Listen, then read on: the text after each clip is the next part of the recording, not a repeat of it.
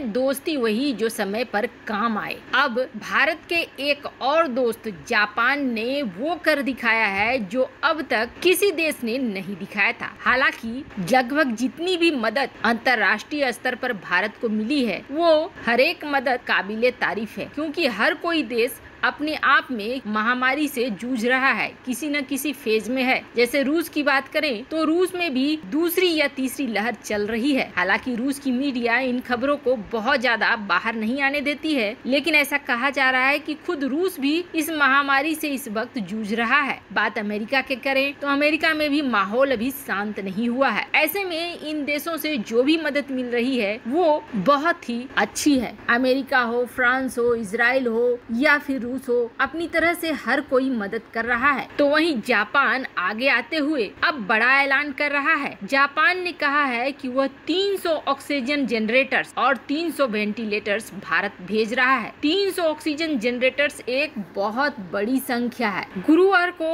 भारत के विदेश सचिव हर्ष श्रृंगला ने इस बात की पुष्टि करी और उन्होंने ये कहा कि भारत का नजदीकी पार्टनर है जापान और जापान ने अब ये निर्णय लिया है कि वह सारी चीज़ों के साथ भारत को बड़ी संख्या में जनरेटर्स और वेंटिलेटर्स देगा। देखो आप जनरेटर्स मिलने का मतलब हो गया कि ऑक्सीजन की लगभग फैक्ट्री मिल रही है। जहाँ फ्रांस ने आठ जनरेटर भेजे थे तो अब जापान 300 भेज रहा है। इसके अलावे भारत ने चालीस हज़ार ऑक्सीजन जनरेटर्स के लिए ऑर्डर भी दिया हुआ है विदेशी कंपनियों को। पर इस वक्त जिस तरह से महामारी फैली है, वैसे तो कहा यह जा रहा है कि ये भयावह रूप इसी हफ़्ते तक देखने को मिलेगा और उसके बाद धीरे धीरे केसेस कम होने लगेंगे और जून, जुलाई तक सारा मामला शांत हो जाएगा। पर ये जो अभी का समय है, ये बहुत महत्वपूर्ण है। और इस महत्वपूर्ण समय में कौन सी मदद कहाँ से पहुँच रही है, वो बहुत मायने करती है। जापान के ये 300 ऑक्सीजन जनरेटर्स इस वक्त उन रोगियों के लिए वरदान होंगे, जो कि ऑक्सीजन के बगैर बेहाल हो रहे हैं। वैसे आपको बता दें, जापान भारत की मदद सिर्फ़ इसी चीज़ में नहीं कर रहा है। जापान भारत की निगेबानी भी कर रहा है। और इसके लिए जापान और भारत एक ऐसे प्रोजेक्ट पर काम कर रहे हैं, जिस प्रोजेक्ट पर काम करने की सोचना किसी और देश के बस की बात नहीं है। क्योंकि इस इलाके में भारत ने कभी किसी विदेशी शक्ति, विदेशी कंपनी को घुसने ही नहीं दिया। लेकिन जापान वो पहला देश है जिसके साथ मिलकर भारत इस इलाके में काम कर रहा है। और वो इलाका है अंडमान निकोबार का इलाका। वैसे तो कहा यह जाता है कि जापान ने यहाँ एक बड़ी निवेश करी है और वो निवेश ऊर्जा के लिए की है। लेकिन अंदर खाने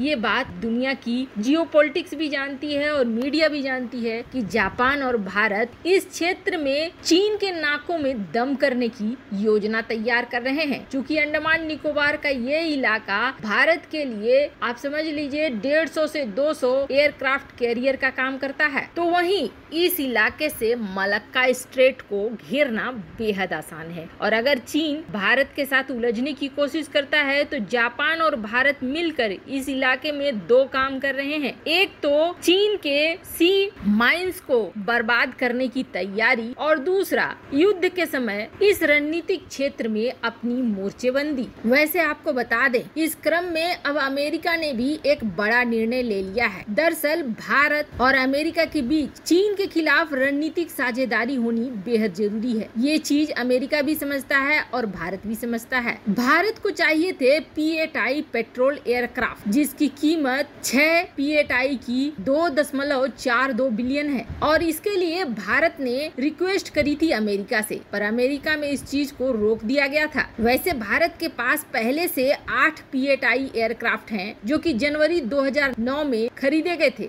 उसके बाद 2016 में भी एक चार एयरक्राफ्ट खरीदे गए थे। देखो, इसको खरीदने का बड़ा मकसद ये था कि भारत समुद्री क्षेत्र में अपनी सुरक्षा चाहता था। पीएटआई निगरानी भी करती है और साथ ही साथ सबमरीन किलर भी कही जाती है। समुद्री क्षेत्र में इससे अच्छा सर्विलांस के लिए एयरक्राफ्ट मिलना बहुत मुश्किल है। यही वजह है कि भारत और भी छह पीएटआई को खरीदने के लिए अमेरिका से काफ़ी कोशिश कर रहा था, लेकिन बहुत लंबे समय से इसके लिए कोई उत्तर नहीं दिया जा रहा था। पीएटआई को लेकर ट्रंप सरकार ने ही इस फ़ाइल फ़ाइल को पूरी दबा दी थी। पर अब बाइडेन ने इसे अलाउ कर दिया है, यानी कि अब भारत को पीएटआई के छह और विमान मिल सकते हैं। पर प्रश्न ये उठता है कि आखिर बाइडेन ने अचानक से ऐसा निर्णय क्यों लिया? तो आप जाने, दरअसल जिस तरीके से रूस बढ़ चढ़ कर भारत की मदद कर रहा है, विदेश नीति भी बदल रही है और जियो भी बदल रही है। ऐसे में अब अमेरिका, जो अमेरिका फ़र्स्ट की नीति दोहरा रहा था, अब वो हर काम करने को तैयार है, जिससे भारत अमेरिका को छोड़े नहीं और अमेरिका भारत की मदद से चीन को काउंटर कर सके। अब जो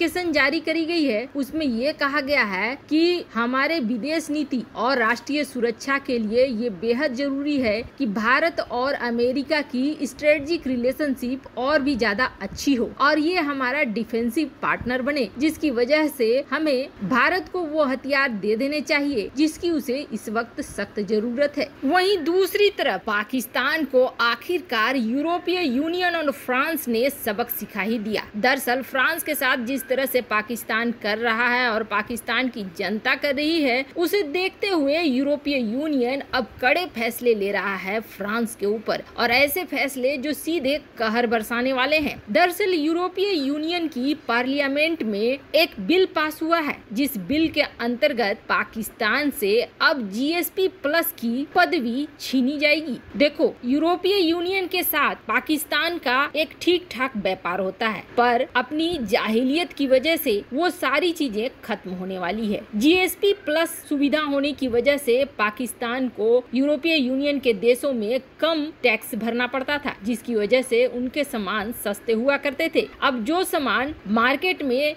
सस्ता होगा और सेम क्वालिटी का होगा, वो ज़्यादा बिकेगा। यही वजह है कि पाकिस्तान का एक ठीक ठाक व्यापार यूरोपीय यूनियन के साथ चलता था। 2014 में पाकिस्तान को जीएसपी प्लस की श्रेणी दी थी यूरोपीय यूनियन ने, जिसकी वजह से जहाँ 2013 में चार दशमलव पाँच बिलियन यूरो का व्यापार करता था पाकिस्तान तो वहीं वो बढ़कर 2019 में सात बिलियन डॉलर यूरो के आसपास हो गया। मतलब कि पैंसठ प्रतिशत की बढ़ोतरी। पर अब उससे ये छीनने की बात हो रही है। अगर ये छीनी जाती है तो पाकिस्तान के लिए एक बड़े झटके से कम नहीं है। वैसे पाकिस्तान को ऐसा झटका मिलना बेहद ज़रूरी था। अब कहा यह जा रहा है कि यूरोपीय यूनियन ने ये फैसला फ्रांस की वजह से लिया है। फ्रांस के दबाव में आकर भी और जिस तरीके से पाकिस्तान अपना अड़ियल रूप दिखला रहा है यूरोपीय यूनियन को, उसे देखते हुए ये निर्णय लिया गया है। तुर्की के पीछे पीछे चलना पाकिस्तान को